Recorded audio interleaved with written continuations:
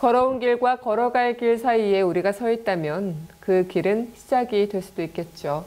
내 삶의 궤적도 마찬가지겠고 또 우리 가족 모두 모두 그리고 사회 구성원 모두가 그러하겠지만 그 길이 시작일 수도 끝일 수도 있겠습니다. 어쩌면 어떤 결정을 하느냐에 따라 그 길이 시작일지 끝일지 알 수 있겠죠.